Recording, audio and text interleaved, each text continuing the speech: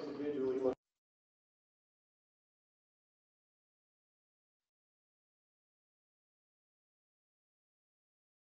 retrofit or that our old code will work with the new change we make to certain blocks and certain pieces like that.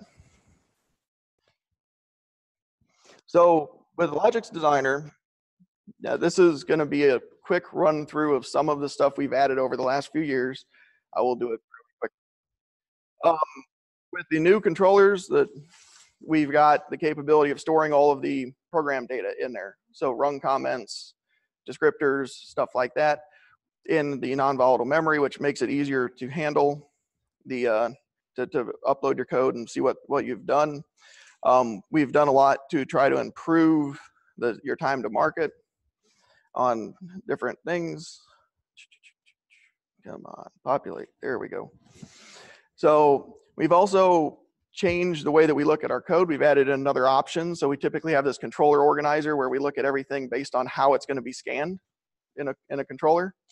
So if it's going to be scanned in the background continuously, or if it's going to be scanned every so many milliseconds or only on an event, we've made it so now you can compartmentalize your code based on what the function is. So instead of how it is being scanned, you can put it together logically. This is this part of the machine. This is this part of the machine. So I'll show you that later on. We also made it so that you can drag and drop programs and so on from one system to another, basically meaning you can build a project that you could call a library project. It's got all your different add-on instructions or your programs, and you can literally just drag them in and have it re-instance those when you drag them into your new project. So any name conflicts, it can automatically correct for you. It'll pop up a prompt and ask you, hey, these two things are gonna conflict. What name do you want me to use? We also have added program parameters, which in and of themselves are a great idea.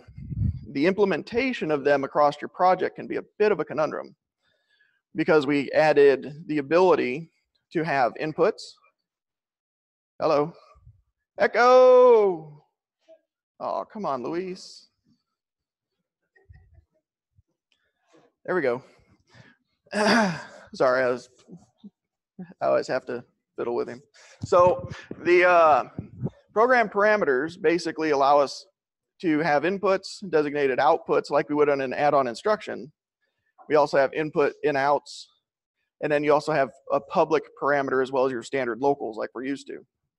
So the public parameters basically makes a local tag that is can be seen globally in any other program. You just call it by using the backslash and then the name of the program dot the tag name. So basically each program now becomes its own UDT. So it's, it has its own user-defined data type effectively behind the scenes. So when you go to play around with your parameters, you, it, it's nice to use inputs and outputs in your code for the purpose of being able to track next time you go to use them, which ones are supposed to be inputs and which ones are supposed to be outputs other than that, that's really about the only purpose I see in those for the most part, because we don't call a lot of these programs like you would in a function block. You know, you don't just drag a function block in for an add-on instruction. You know, you know, you do that with an add-on instruction. You don't do that with a program.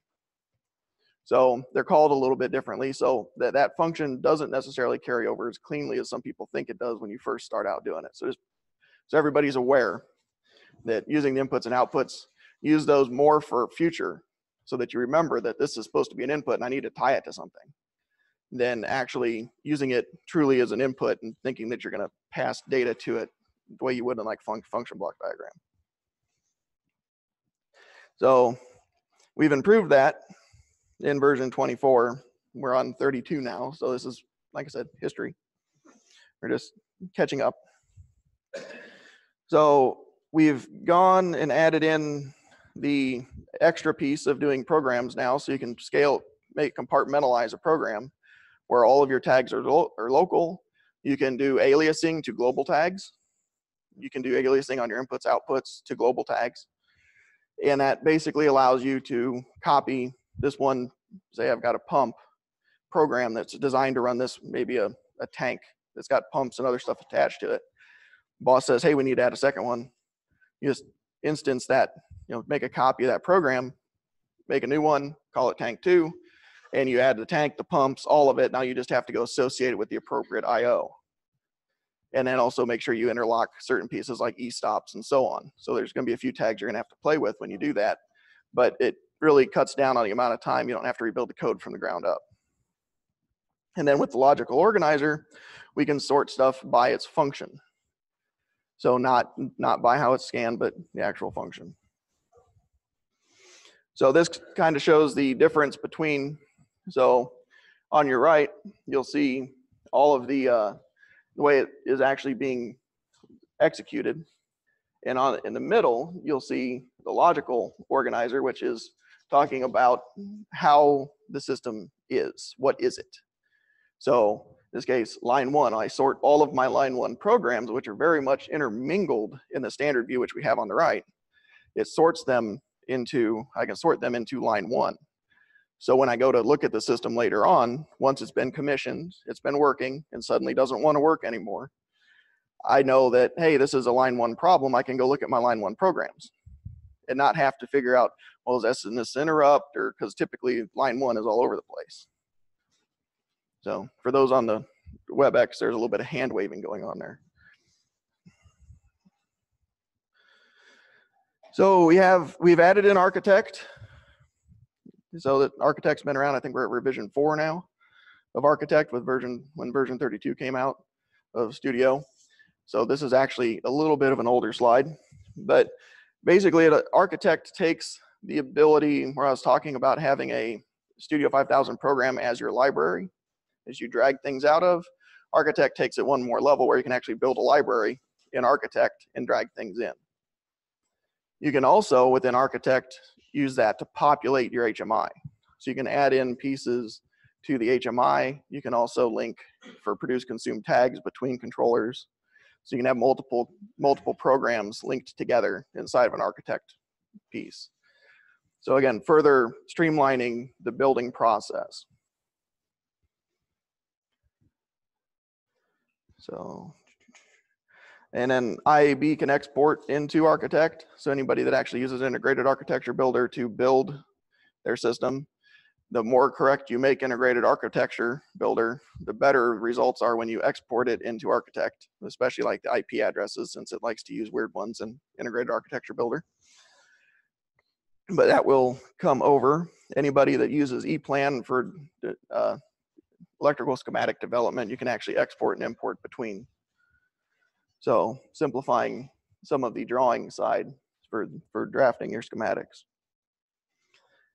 So then you can also, you know, create Logix and view programs and you can export, you can correlate, you can go work, work back and forth between. So you can go make changes in your Logix program and then come back and resync it with the system. So our architect is a very strong tool for that. And then you can build your own library. So you've got your library. You can build your own and use it to hold all of your pieces of code, drag them into your controller where you want them to be, or programs and so on. So not just add-on instructions, but also programs. We have another tool called Application Code Manager. It is, oh. Mm -hmm.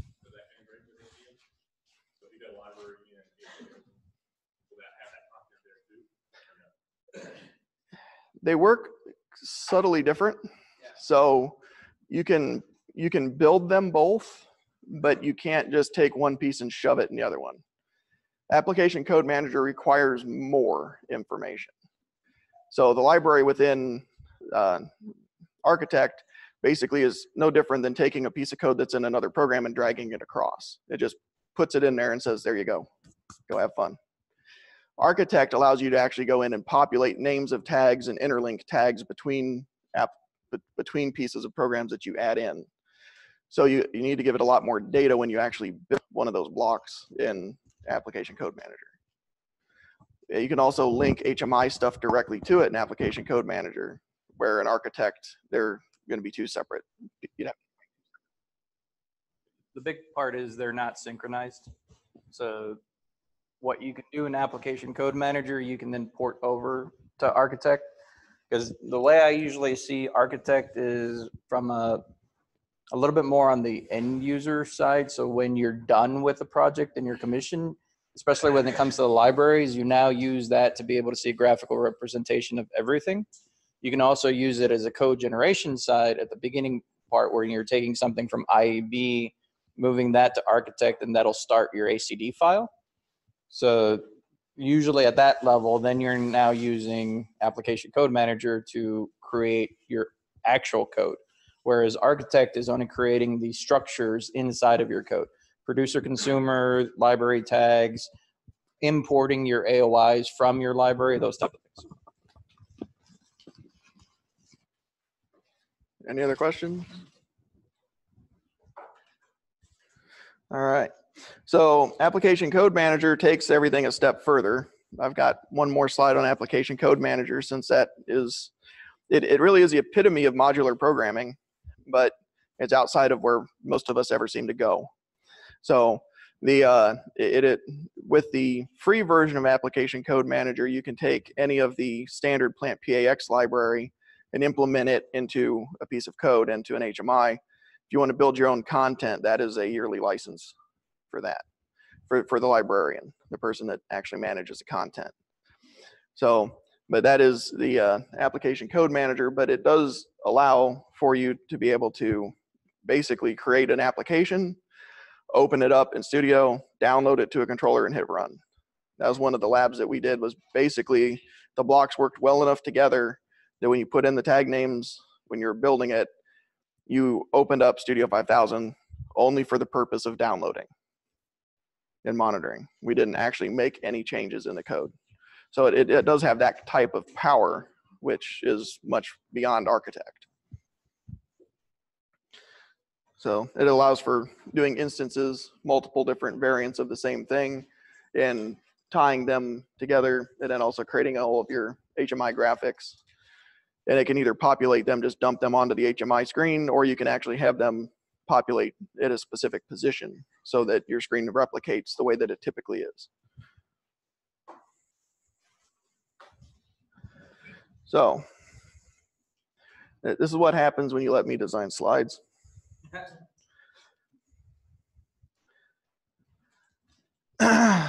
so where do we start? How do we figure out what a function should be? When do we use an add-on instruction versus a program? Those are very kind of personal questions as we sit down and think about how we want to architect a system and where it makes the most sense to divide it. Because sometimes you'll find that you're using maybe a few add-on instructions in a program. So you may end up compartmentalizing these or calling an add-on instruction from another add-on instruction to help compartmentalize the different pieces so you can prove out the code once and you know that it works. Now I just call it. So in a case of like a mixing tank, where do I start? Like what, I've got the overall unit, okay. If I'm gonna sell 400 of these, or I'm gonna install 12 of them or something like that, maybe I compartmentalize the entire system at some point. But you know, trying to do that directly is kind of like eating an elephant. That you know, I got my fork, but it's gonna be a while. So, you know, we can break that down into little pieces. All right, so we've got this tank, this mixing tank, but we also have pumps, we have valves, we have these assemblies that we want to control. So we break it apart. Say, okay, well, what are these functions or assemblies that we want to look at? And then all the way down to individual components. So we can look at compartmentalizing a function. We can also compartmentalize components. Two different schools of thought. They're different, completely different. You don't typically compartmentalize functions and components because sometimes you end up with a little too much modularization. It ends up being a little too difficult to implement sometimes. So sometimes you only you only compartmentalize one. Sometimes and, and sometimes you end up with a with a function that is made up of a bunch of components, and you do it that way. There's also different ways of doing control. So when you stand back and look at the overall system, you've got a couple different methods. The method that a lot of people typically use is I've got the main control system, the control layer of the, the is actually owning every function in the machine. Tells it what to do, doesn't do anything else until that's done. It does and, and errors off of that and so on. there's other schools of thought that basically says let each function know when or whether or not it can run and then send it a request to go so your overall architecture says am i allowed to run and if i am allowed to run go do this and then at the next step it tells something else to go do that and waits and, and make sure that it's done before it moves on but doesn't actually get down into the individual control of the system so basically setting a setting a bit to say turn on the pump and then won't move to the next step until the pump is running.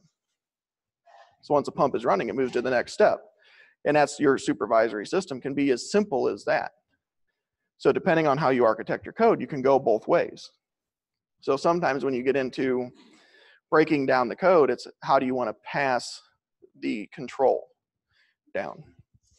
So again, there's multiple different ways out there. There isn't necessarily you should do it this way.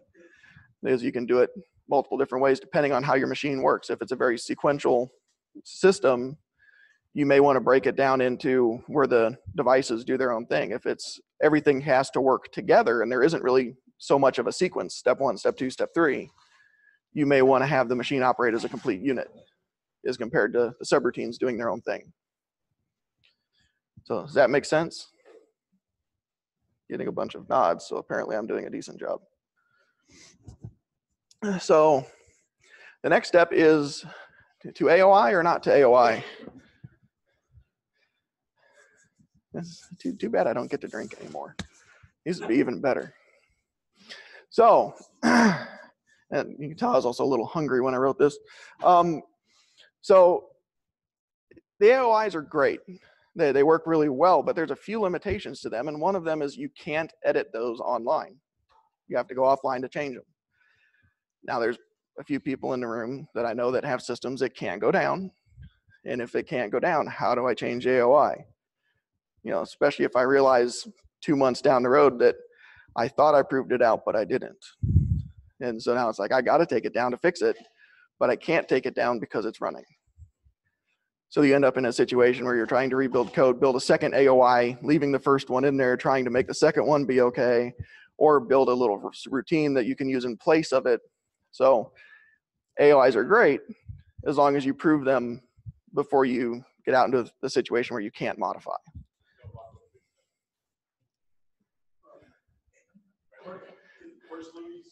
uh, uh, you know, avoiding that one, are you? So that's the uh, the, the general limitations. I mean, one of the benefits of AOIs is like revision control and everything is designed to be a block. It's designed to be used that way. So they're very easy to easy to move around, easy to handle, very specific in how you use them in code because you drag them into like function block or ladder and you know what the inputs and outputs are. So there there there are benefits and downsides. The downsides are actually fairly minimal. Um, there used to be a couple other downsides as far as what you could do inside of an AOI as far as certain program routines, certain like get system variables or message instructions, certain things like that that you couldn't redefine. Some of those have been in, have been removed, some of those hurdles.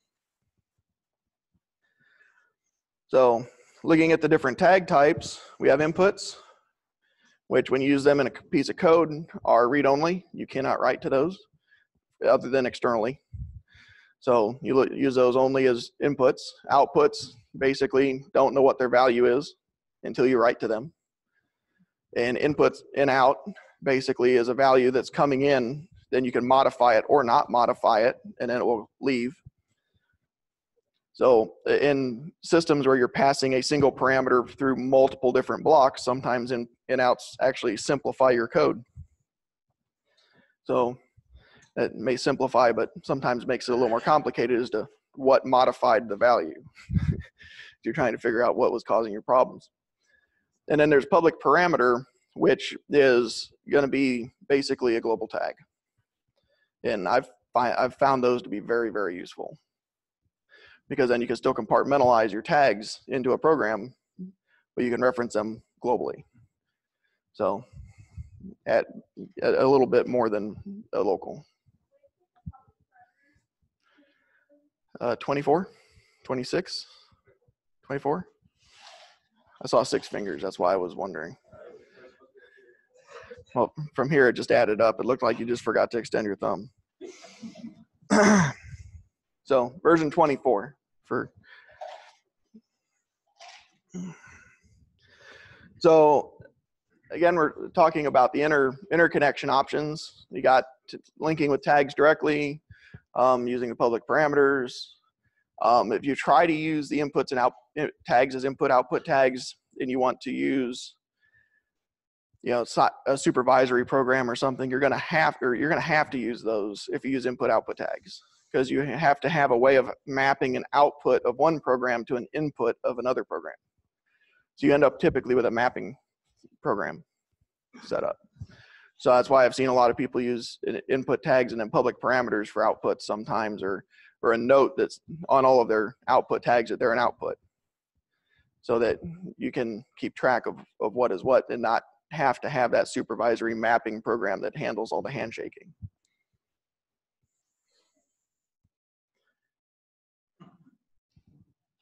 So for those of us that play in the OEM world where we're building the same machine that's exactly the same except, you know, every time the boss comes down, yeah, it was just like this one, except. So we have the we have capabilities and ways of interrogating cards, interrogating modules. So not necessarily just cards, but drives and you name it, using get system variables, using message instructions. The the new one that's come out is the ability to actually to actually pull the path for a module using a get system variable. And that one allows you to take it to one to the next level where you can actually pass the path into an add-on instruction, now allowing you to use a message inside of an add-on instruction. So that was always one of the limitations. If I did a message instruction inside of my inside of my add-on, I was pretty well stuck with only ever writing to this one piece of equipment. So now I can make that a variable and pass it. So and more dynamically, you could always hard code that as a variable and pass it in before, but now it's even better with this capability.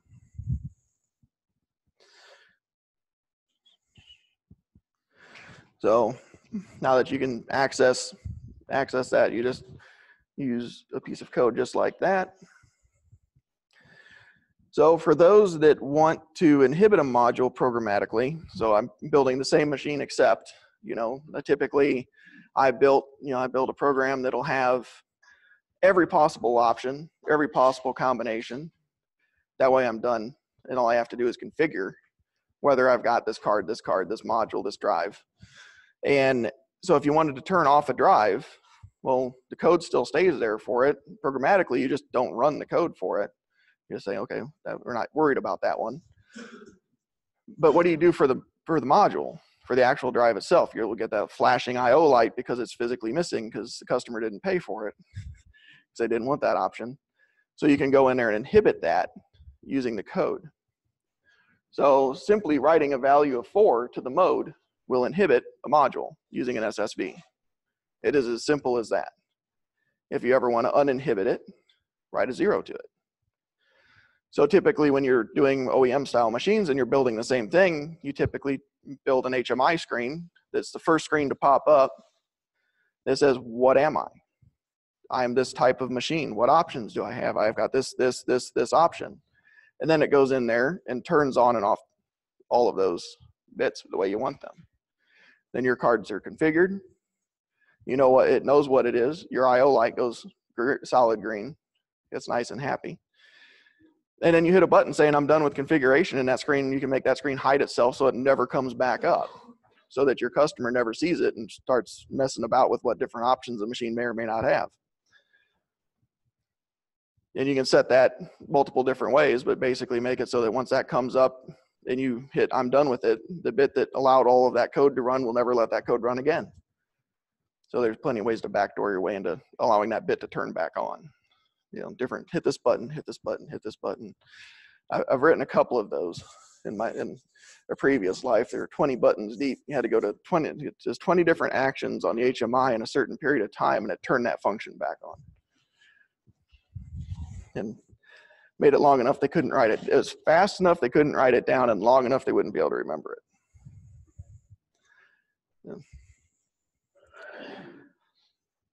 Yeah. So one of the other topics we were talking about was alarming. So we've come out with this new way of doing tag-based alarming.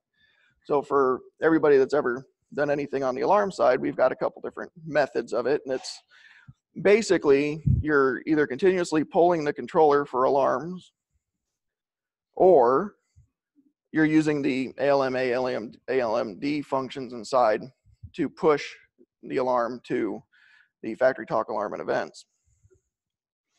So the data just keeps going back and forth and there's limitations to both methods. And so with the alarm and events method, we basically own that configuration inside of the controller. We are passing that data up to the HMI saying, hey, this is what happened. This is when it happened. There's additional code that goes with it. So you can silence alarms and so on. Shel I believe the term is shelf, but you can hide the alarms, basically acknowledge them and so on. And the HMI does what it needs to do. And it's all controlled inside of the controller. The reason for doing it inside of the controller is I get the best scan time, timestamp accuracy. I was right there when it happened. I know what the order was at that, I know when that fault happened.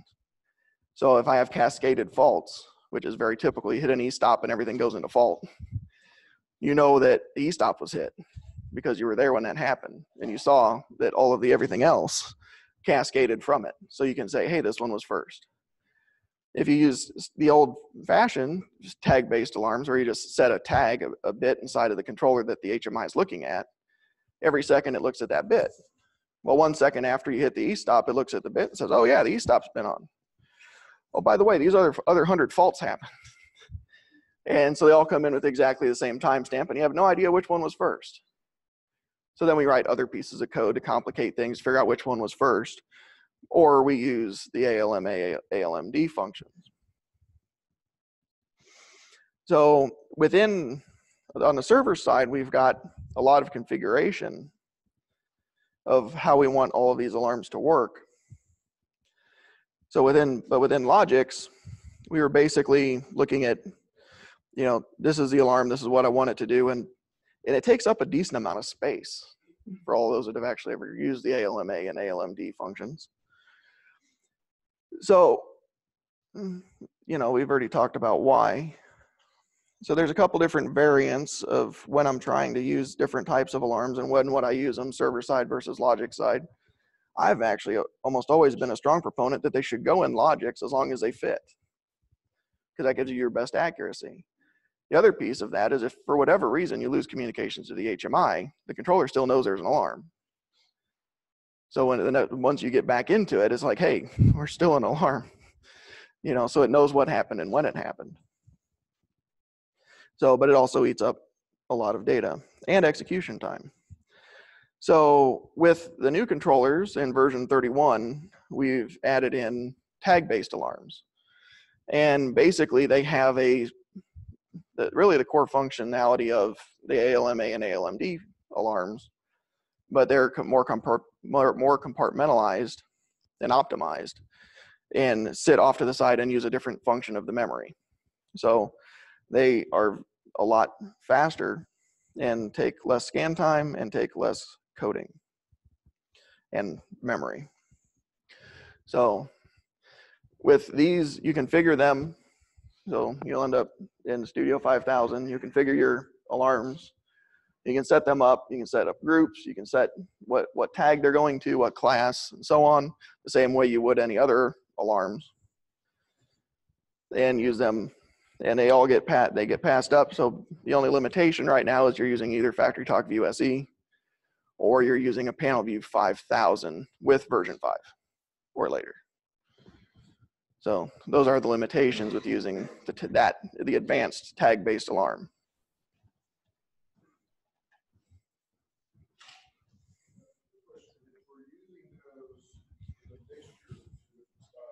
Mm -hmm. Yes. Yes, they look identical. So within View SE, you can set up multiple different types of alarms. You can set up tag-based alarms talking to older equipment, PLC5s or non-Rockwell equipment that don't have the alarm and events functionality. And it'll look identical to a tag coming out of ControlLogix from a ALMA and look identical to a tag coming out of uh, the next gen ControlLogix, an L8 running the tag based alarms. So from an operator's perspective, they all look the same. You just added that extra granularity of time in there.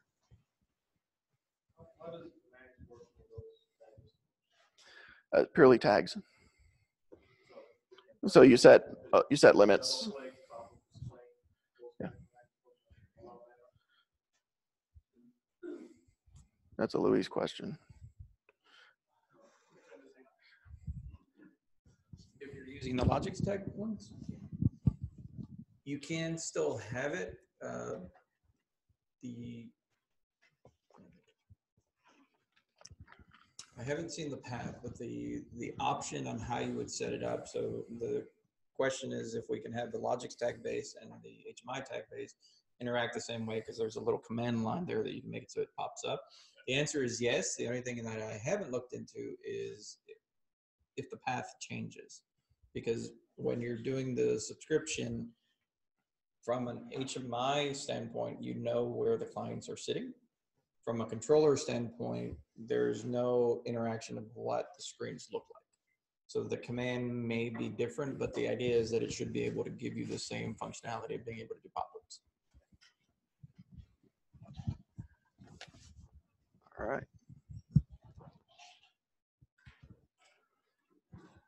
So, next gen controllers minimize the impact on the on the scan time. So, and this is what the memory sizes look like. So using an ALMA or an ALMD would take up a decent amount of memory inside of our controllers, and the, tag-based alarm still takes up memory, but a lot less. So giving you an additional capability. Now it also reduces the scan time, but when you're dealing with the L8, you've already reduced your scan time by a factor of seven. Yeah, like literally it's one seventh of what it used to be. So it is a little less noticeable that you've had that giant improvement because you've already got a 7x improvement anyways.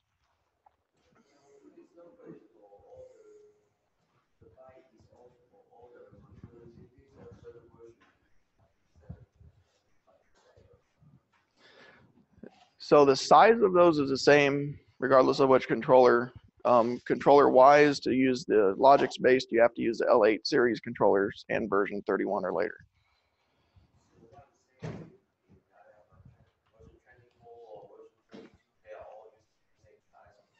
Yes.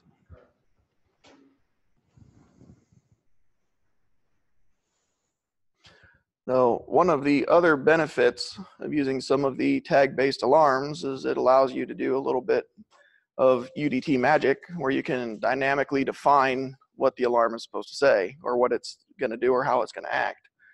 Meaning you can put tag-based alarms inside of like add-on instructions and so on, and we'll give the appropriate enunciation to the HMI.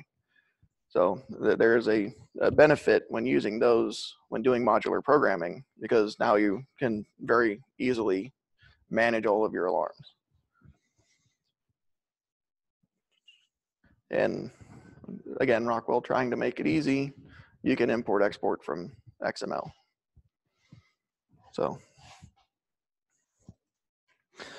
so I know everybody's a little scared. These two words seem to terrify an awful lot of people. So before I even dig into structured text, I want to talk about why most people are scared of structured text. And basically what it boils down to is almost anybody that works on any of our controllers or anybody else's controllers reading ladder is pretty much the standard. Structured text takes a little bit more knowledge on how it executes as it's not as visual. So you have to spend a little bit more time thinking. And the more complicated you make your code, the more information you need to remember.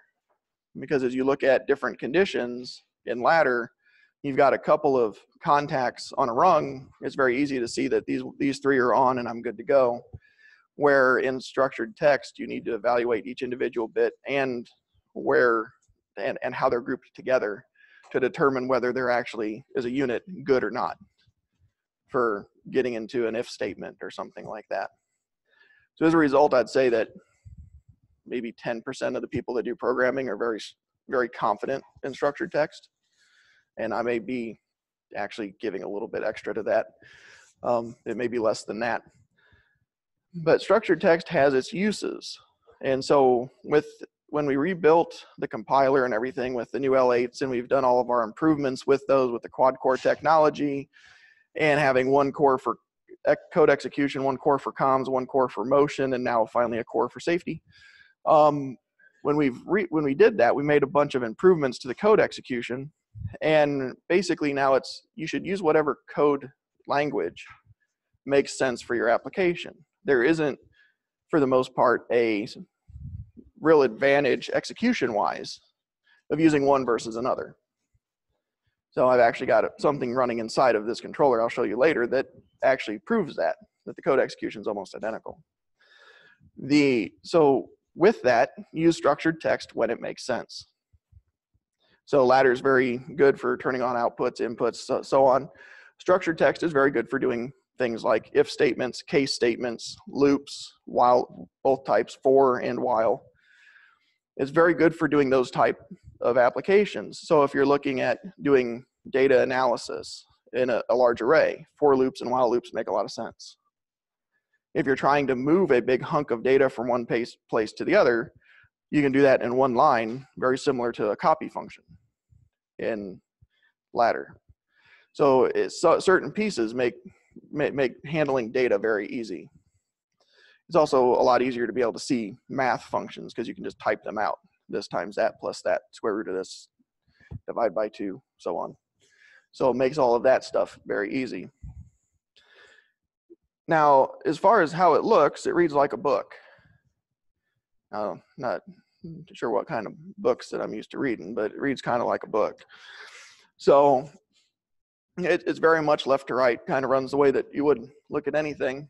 And so we have different functions within there, but basically it, starting on line 29, you have if something, and assuming it's true, then I will do the thing underneath.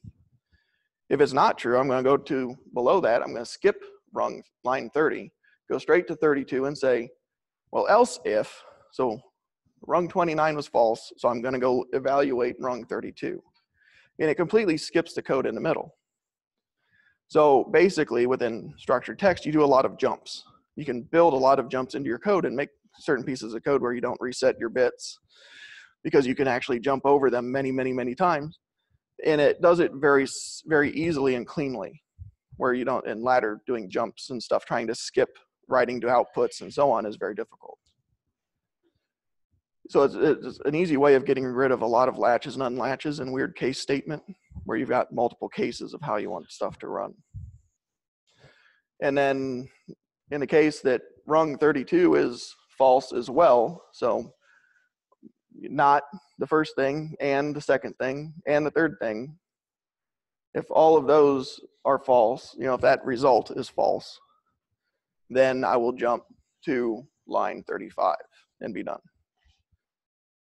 So it allows you to, to do that kind of weird check.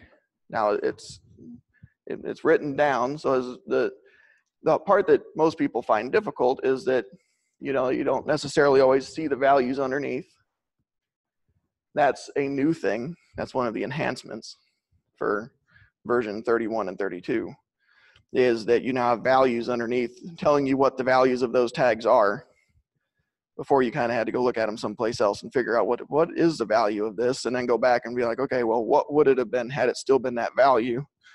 And you know structured text is a little bit of a bear sometimes. So i've always i've always kind of pushed structured text as use it in function blocks. So use it in add-on instructions. Use it in something where you need to do a function and you can prove it completely and then walk away from it forever where you don't have a guy out in the field that feels he's going to need to get in there and figure out what's going on because you know sometimes the code can get very complicated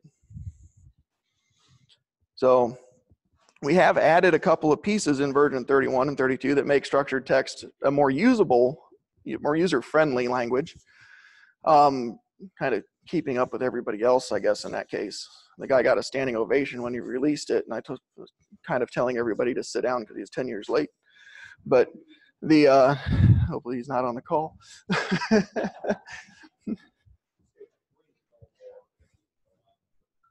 so that is showing whether there's been a change.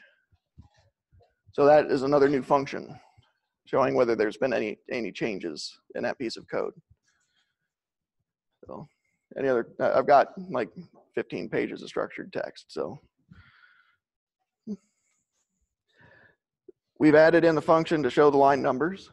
That was something we didn't have before.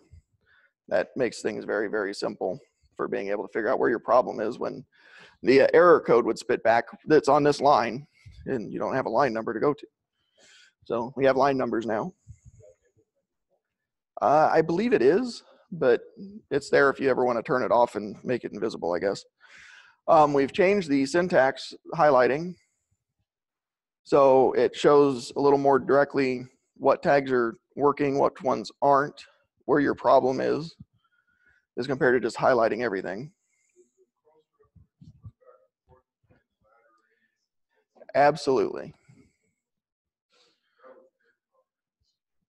Yeah, so yeah, absolutely. So you can cross-reference any tag from one to the other. So we've added in some uh, better descriptive tools. Anytime you call a function within structured text, it you have to put in the parameters for it and knowing what order to put the parameters in. Typically when you do that in ladder, you drag a move function in just for the sake of one that we probably all know. It's got, you know, two parameters in it, parameter one and parameter two, or in Rockwell speak, zero and one. And so we've got these two different parameters. We need to put them in the right order so things go in the right place. And the same is the case with all of our instructions in structured text, but sometimes we forget because we don't know what the order was of all of those parameters off the top of our head. Then you spend four hours playing around in the help files trying to figure it out. We've simplified that so that it will show you what they're supposed to be. And so in the case of like the find, you've got four different elements there and you have to put tags in for each one of those elements, but you don't really know what they are off the top of my head. I don't know what order the find functions are, but by highlighting it, it tells me that the first element is, is going to be what I'm searching, the set or my source. My second element is what I'm searching for. My third element is my start, and my fourth element is my result. Tells me right out right there, just holding it over. So that was that was not there before. So that is a giant improvement. So we also have the completion completion prompt, where basically it knows what you're trying to do and it will tell you that like you've completed the end if function. And then it changes to the verify bar. So if you make any change detected before you have verified it. So to your case, what the yellow and green bar are, if you make a change to the text, simply adding a space probably or something like that, or change uh, something and you haven't hit the verify button yet, it's going to be yellow. Because at that point, you don't necessarily know it's going to be good until you actually have done the syntax check and make sure I didn't forget a semicolon or something crazy like that. And by the way, the end of any instruction in, in structured text ends with a semicolon, for those that don't know. So we've added in code snippets, which basically allow for you know people like myself that forget sometimes when I'm doing a for loop, how do I put in a for loop? like the for part's easy and the do part's easy, but the for this equals that to this by that, you know, for for i equals, you know, one to 10 by one. So I want to go i equals one, then two, then three, then four, all the way up to 10 that part gets a little like, how was that supposed to go again? So I either have to go find another piece of code where I did it or go search the help files for four hours and then I'm good. So this allows for basically you start typing in an if and it will finish it for you. So it lets you know what other pieces. So when you start typing in for, you then just keep hitting the tab key and it will start adding in all of the different snippet so that you can see on a for loop, I want to take I, my counter, and I want to have it equal to my initial value and go to my final value. And you can also add in a by and what your increment is supposed to be. So if you didn't want to go by one, you could go by 10 or 12 or two or whatever your, whatever your favorite number is.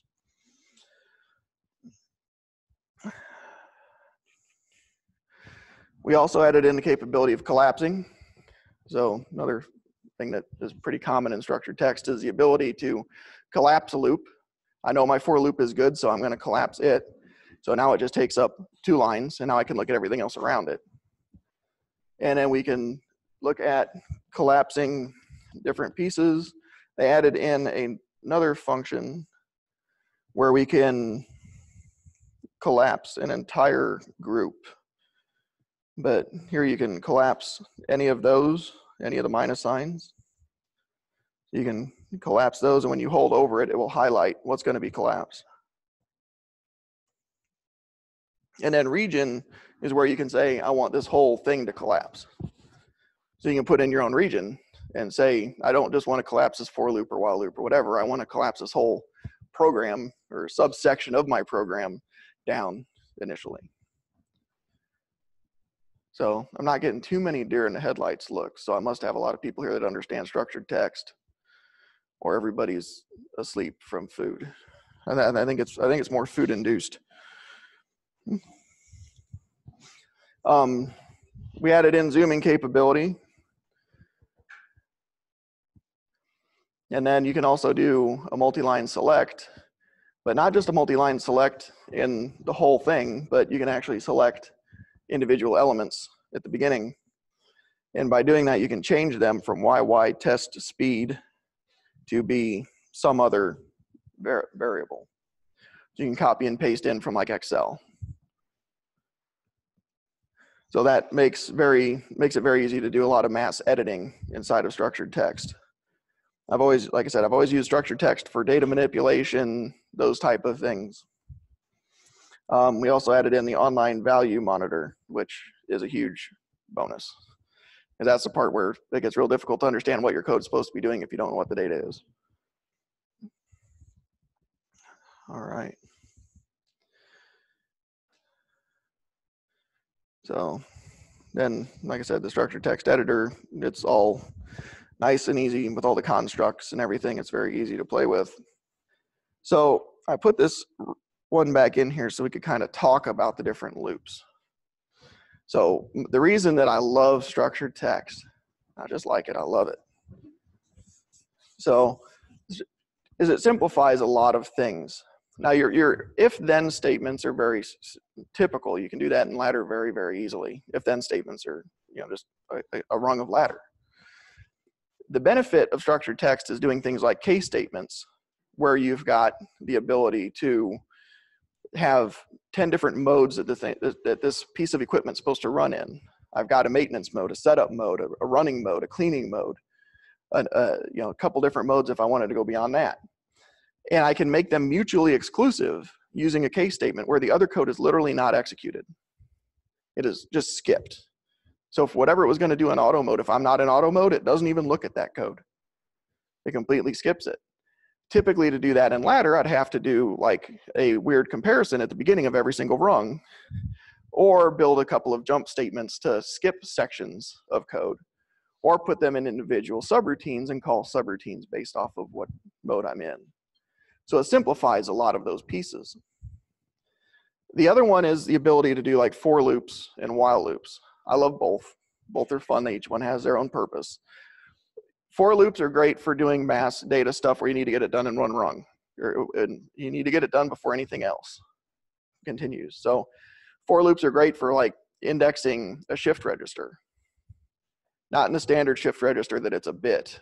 You know, do I have something present? But like a shift register that has multiple different things about whatever's being shifted.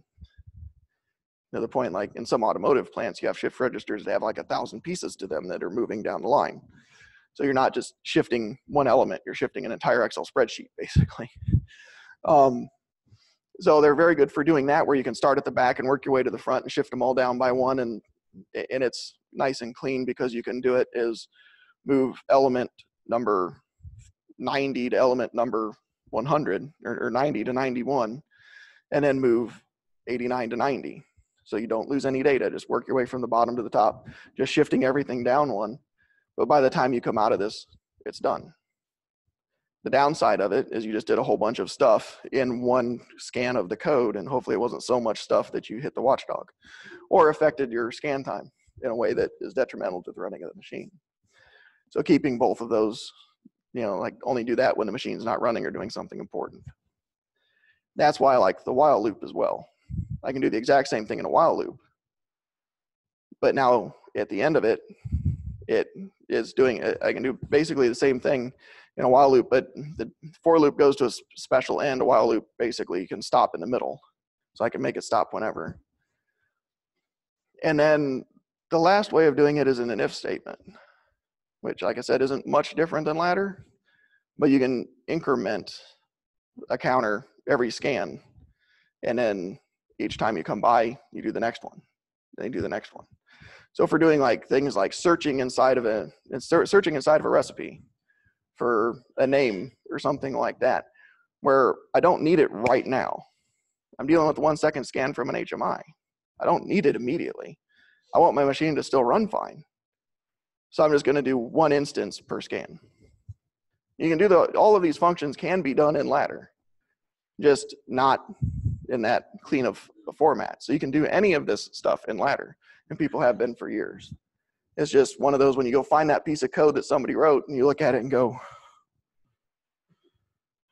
uh, this is going to take a couple of days and a beer, you know, for me to understand what this means.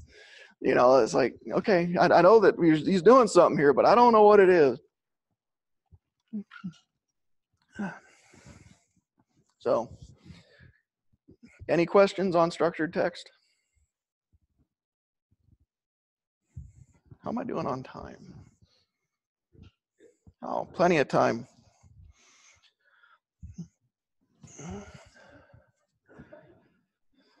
Again, this is what happens when you let me design things. so, one of my uh, little side hobbies and things that I enjoy is finding all of the places where we go wrong. And because I typically sometimes every now and then get a phone call from a customer saying, well, this isn't working the way I thought it was going to work. Or why is this not working? And there's a lot of different reasons some people copy code from one system to another. Some sometimes you go from a uh, a PLC to a PAC. Our ControlLogix and CompactLogix are PACs, which do communications asynchronously. And so when you write to an output, it basically writes to it immediately, and you end up with weird weird little anomalies where sometimes, you know, in a PLC you would write to an output, you'd move a value to an analog, and at any point before the end of the scan, you moved it to something else, the last thing would win.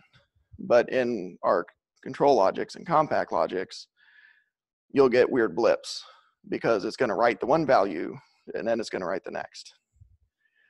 And so every now and then there'll be enough of a delay that the output will, you know, it'll actually accept the previous value and have time to act on it. And not, not, uh, and it's, you know, those type of weird things. So in a, in the, uh, in that effort, we've got reals. So I actually pulled this from a tech note. I don't have the tech note number memorized, but I pulled it from a tech note that basically goes into telling us about reals and so on. But a real is a floating point, which is 32 bits, and of that, a certain amount of that is data, the actual number. And the rest of it is the exponent.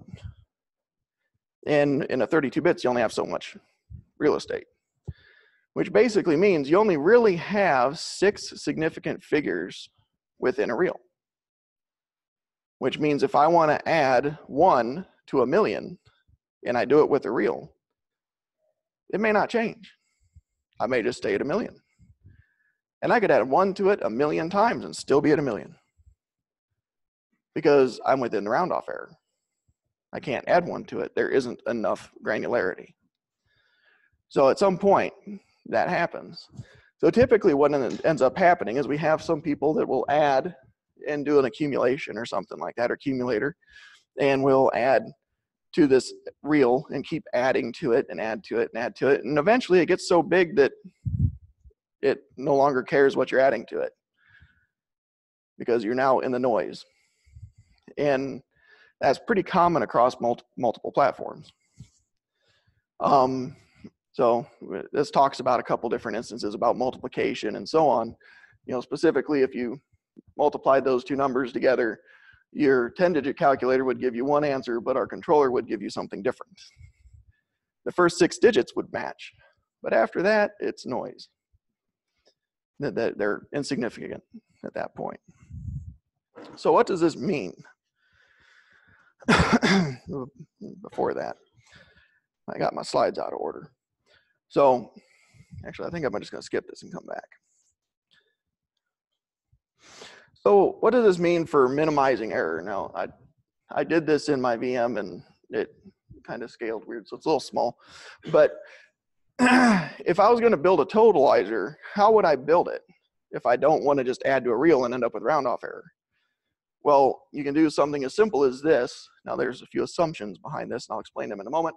But basically, you take the real value, add whatever it is that you're trying to totalize to it into itself, and then say if that value is ever greater than 100 or something like that, pick a number, I'm going to add that number to my totalizer and subtract it from my real. So at this point, by using 100, I still have four decimal places of accuracy. So I'm minimizing my round off error. I, I always can, I consistently keep four decimal places of accuracy at least, sometimes more. And when I hit 100, I drop it back down, but I didn't set it to zero. I kept whatever the remainder was. It may have been 100.54. And now I still have 0.54 to start with.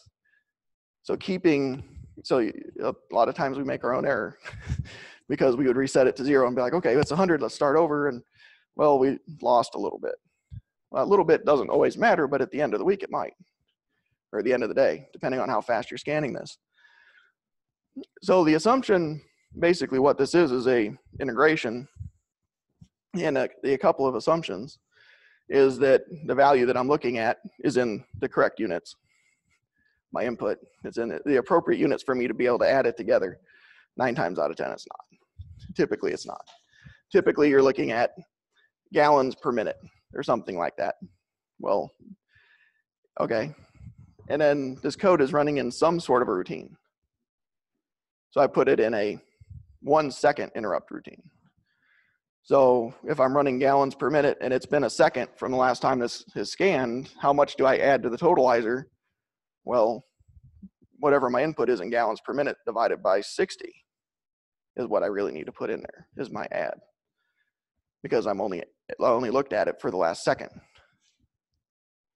So it depends on how how you look at the code and how you modify it. So sometimes you have to every now and then dust out the math book, you know, be like, oh, okay, how do I do this?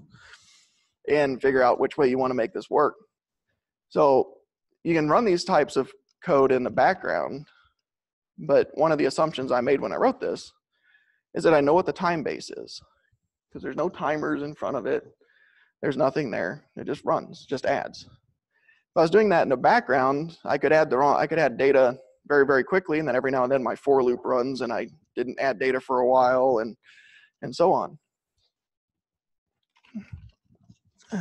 So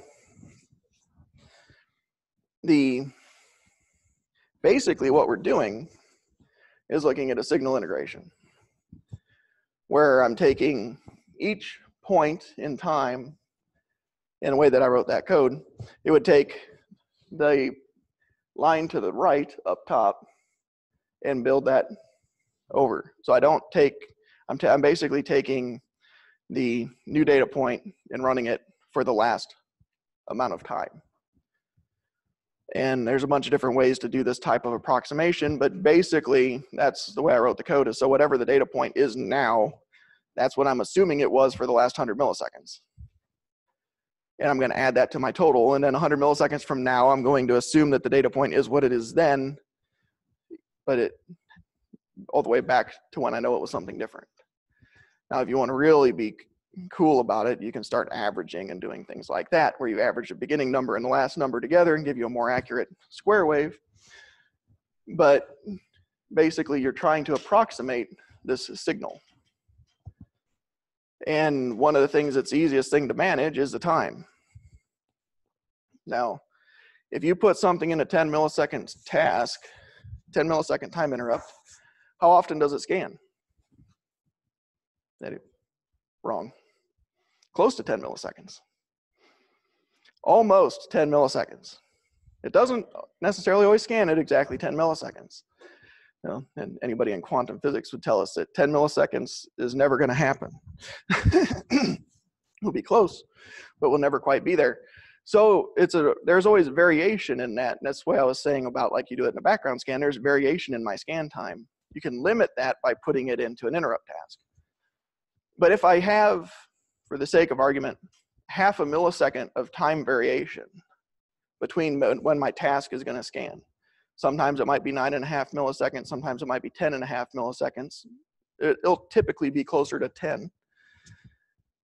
What happens percentage wise when I try to run that code at one millisecond. I do it in a one millisecond interrupt task. Now with a half a millisecond of error. So I may be more accurate in that my steps are smaller, but now I'm less accurate in that my steps are now variable length because my steps are anywhere from 0.5 seconds to 1.5 seconds or 1.5 milliseconds to 1.5 milliseconds, which would be a, a huge variation percentage wise of my one millisecond. So that's how you, one way to limit error is to use a larger time span where your error is a smaller proportion of the overall value. Does that make sense? So when you're doing totalizers and stuff like that, that's time matters. And if you do something in an interrupt task, a time interrupt task, you really don't need a timer in front of it because you know what the time is effectively. Now, not like like I said, it's not going to be perfectly 10, but it's going to be hopefully near as makes no difference 10. And if it needs to be exactly 10, you set it at a higher priority because it'll be closer to 10 because less stuff will be interfering with it. So looking at the time bias there is kind of like what I was talking about a little bit ago. We've got the variation in this time, the 10 milliseconds. It's not always 10 milliseconds. Sometimes it's 9.5, sometimes it's 10.5. This happens in other things as well. So this is not necessarily, I'm not, I'm going to step back from what we were just talking about and talk about a slightly different problem. When we talk about comms, communications, as much it, we have complete control over what's going on inside of our controllers if we if, if we have a race in there it's our own problem we didn't mean to make one but we made one but externally when you send something out to another controller or something else and then expect it to come back or send it out and you want it to get there at a specific time you know the easiest one is watchdogs so i'm going to do a communication watchdog every if I don't have communication between my two controllers within one for one second, I'm gonna cause an alarm. All right, well, how do I do that? Well, every half a second, I'm gonna change this bit from zero to one on one of my controllers and expect it, the other one to see it, and then send it back. So, okay, half a second update on a one second time, that I should see that. Well, no, not necessarily. Because let's say that you were at zero, half a second later, it went to one, and not quite half a second later, went back to zero. Well, there's your one second. You just sent the message across to the other controller saying, hey, here's my new value at one second. It's still zero. So you have to invert that basically and make it so that you're sending the data faster than the pulses and you have to be more than two times faster. Because if you're exactly two times faster, where I'm sending data every half second and my data updates every second, there's always a possibility that you can make an oops. There, there, you have to be at least two times faster because if you're if you're sending data every half a second, I miss it on the front end, I see it in the middle, I miss it on the back end. But the next one's seeing it for three times. But if I have any other issues in there where I typically most people have this built on top of something else, where I'm looking at another piece of data that's being handed back and forth, and suddenly you end up doubling that. I always say at least two times. If you do it exactly two times, you'll most likely see the data. If you do it more than two times, you'll see it. So if you communicate three times in the time that the signal is updated, you'll, you'll see it. The only reason I bring it up is because I've probably had about a dozen phone calls about that in the last six years. So it does, it happens more often than you'd think. This isn't one phone call that's prompting me to talk about this. So it, it does happen. So we assume on our control side that we know our time. We know how fast everything's running. Our math is going to be perfect. Our reals are infinite accuracy. You know, we make these assumptions, but you know, at some point that, that, that we have to kind of be like, all right, maybe there is a variation. If I can't control it, can I mitigate it? And if I can't mitigate it, at what level does it become acceptable? I know I've worked on a couple of totalizers in the past that we were able to get at the end of an eight hour run, 1% accuracy out of a controller, off a flow meter. So my controller running the raw data out of the flow meter compared to the actual totalizer from the flow meter was within 1% at the end of an eight hour shift. We were able to improve it beyond that actually, but 1% was the first, first shot. So there's ways to do it.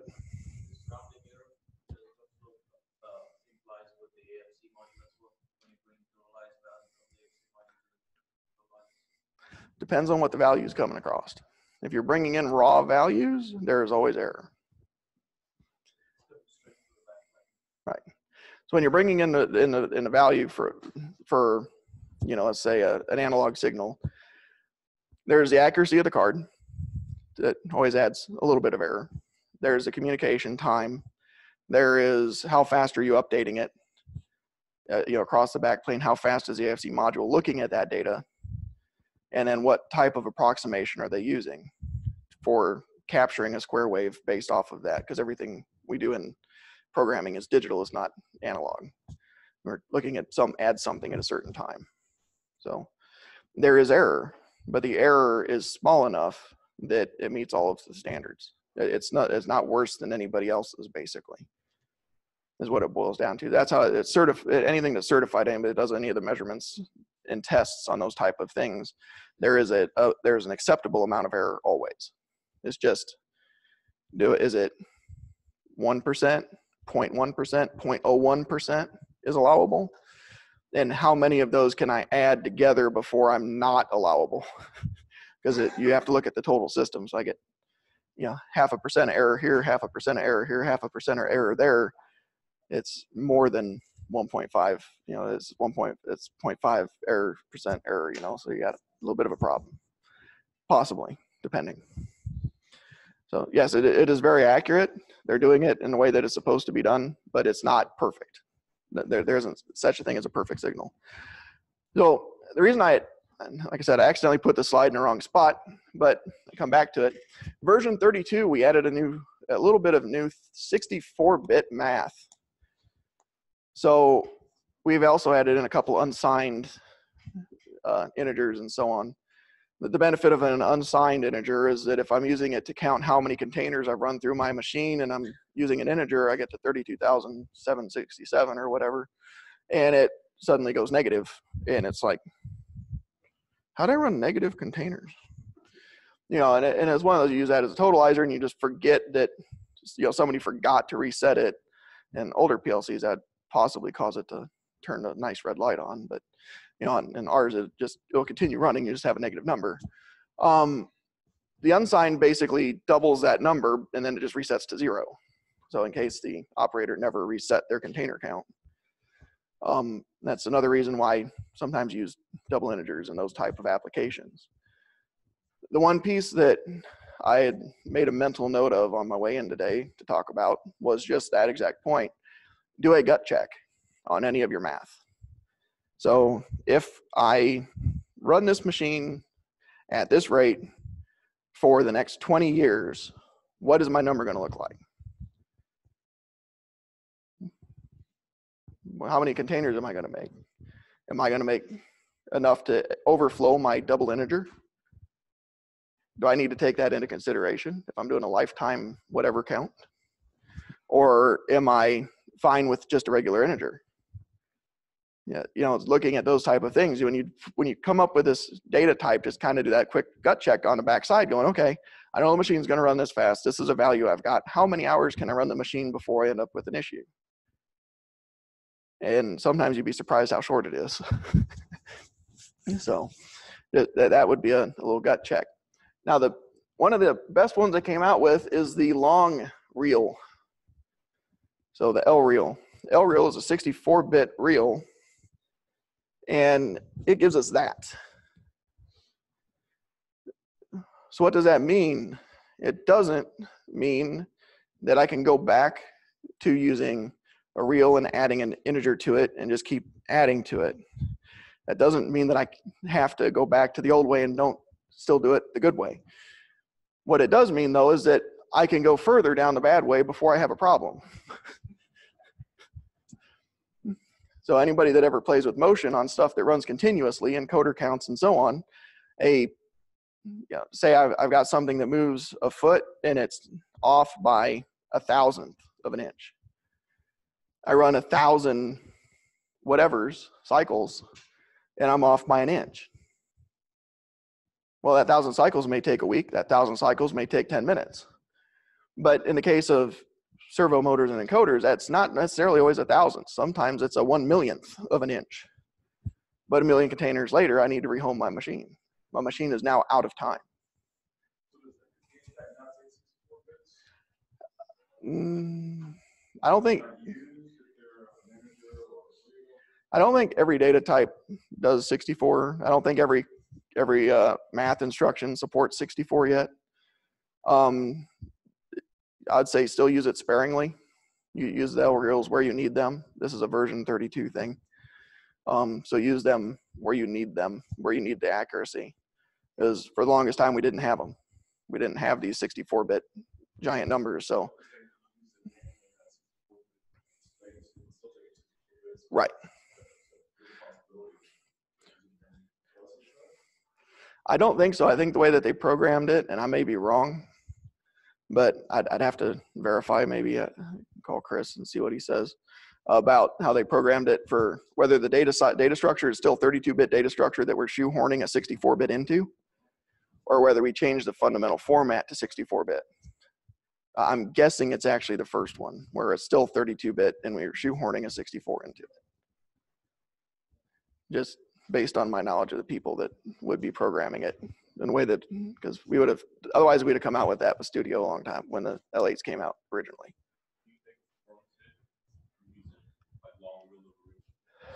You're you're doing twice as much data calculation comparison conversion so yeah.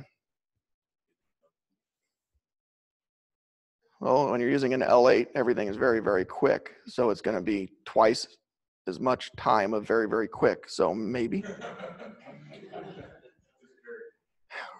right. I mean if you know, you know let's say it takes a nanosecond to do this comparison now it takes two. Okay. So as long as i only do that in a few places in my code probably not. If i converted all my code to LREALs and it took two milliseconds before i might be at three or four now. Because you're, you're doubling the amount of data the processor has to chew. Yes. So I think that is, yes. So I don't know how much time I have left. I always try to leave a little time for a demo. I got seven minutes. Anybody want to see something cool for about the next seven minutes?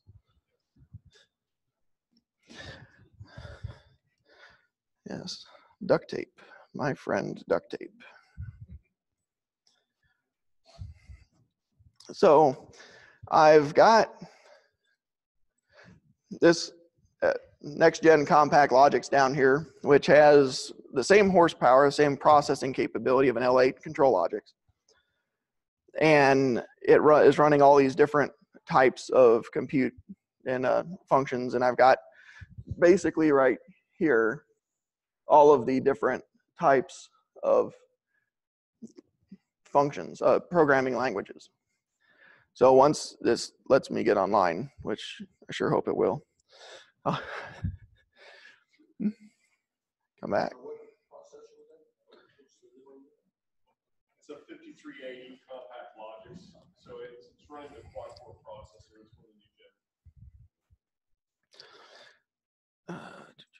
So if I was to do a monitor on this structured text, they do the exact same code basically in all four of these languages. So looking at the min and max, you know, I'm running right around 172 mi- what, microseconds, 190 microseconds to execute that code.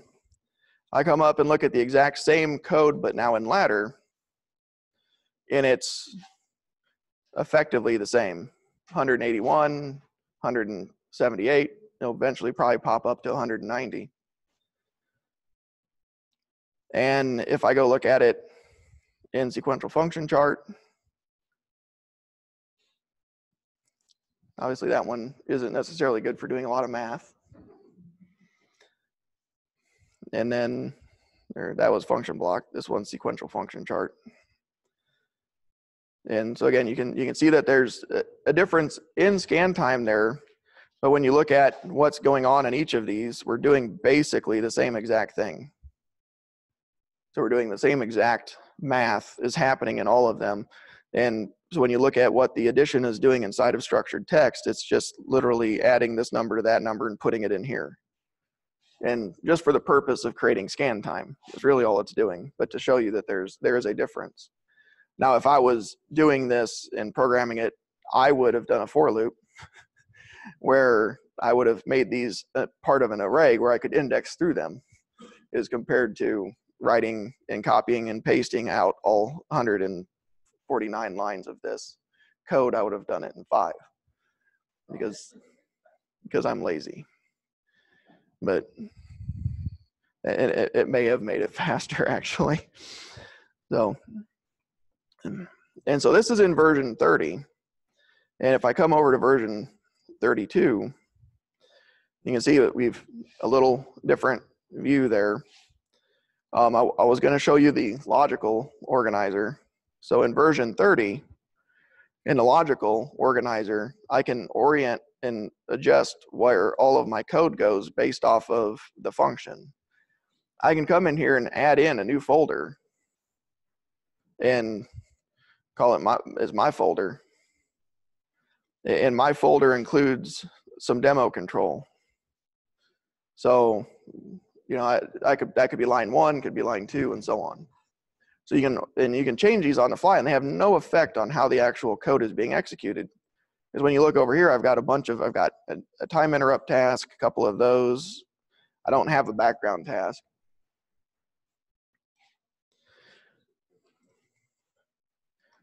So, and then, like I was saying, so over here I was doing this in my background task. So the way I would fix this this totalizer for running it in my background task is I would add in a timer and say when that timer is done, do this. Now, keeping in mind that a timer takes one scan to reset. So there's error I'm tossing in there because it takes one scan to reset. So it, and I'm not always going to see it exactly when the timer is done. I'm going to see it within a scan of whenever the timer was done. So I'm adding in basically up to two scans of error when doing it in the background task. So like they say, there's when you look at some of the minutia on how not to lose and how to minimize your error, that's one of the uh, the key key pieces. So I know some people do have every now and then do pieces that do things that require very very accurate coding. Um, so, but this is basically how you can do square wave integration. I can use this function on anything. I can use it off of the RPM of a drive. The input, take the input return from a VFD, tells me how fast the drive is going. Say it's running a conveyor. And I know how fast the conveyor is running when it's running at that speed. I could convert basically those RPM into real speed. And I could integrate that, which means as the drive speeds up and slows down, I could have a pretty accurate, not perfect, idea of where whatever it is is on the con- on the conveyor. So if I had a sensor that said, hey, there's something going by, I could have a rough idea of where it is on that conveyor as it goes down. So you can do these type of math functions all over the place. The other one is to do a combination of this with a division function where you can look at how much you, you add in, you say it every so many milliseconds, I'm going to capture the data. Once I've captured that data, I'm now going to average maybe the last five pieces of that data. And then I can divide it by how long it took to do that. And it gives me the rate of what the thing was running at. So in the case of, you know, like trying to, you know, understand where I'm going and where I'm going to be so I can turn off early so I don't overshoot type of thing. So when you're doing, again, with types of VFD control, flow meters, things like that, you could basically say, hey, I know the tank's going to overfill because it's going to take me this amount of time to turn off. So I need to turn off this much early. So there, there's ways, very easy ways to do approximate differentials and integrals. I know that that's usually the point where I lose half the people in the audience. And, uh, but that's the, how you can approximate the area underneath the curve or the slope. Then run that out. So I am at one o'clock, so I've probably been fired. Um, yeah, I'm, I guess I need to be done so I can let you all go back to work. You don't have to go back to work, but you know, I, I won't tell your boss. The uh, so next next month we're doing controller safety, process safety, and machine safety. So our users group topic next month is process safety, machine safety. So feel free to join us for that. We're going to be talking about GuardLogix and different SIL applications. So any questions? All right. Thanks for coming.